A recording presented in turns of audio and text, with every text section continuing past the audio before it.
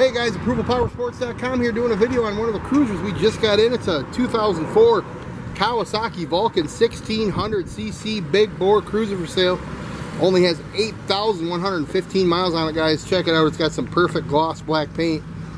Tons of chrome. It's got uh, saddlebags and a backrest. Just serviced at the dealership. Inspected. All the fluids been changed.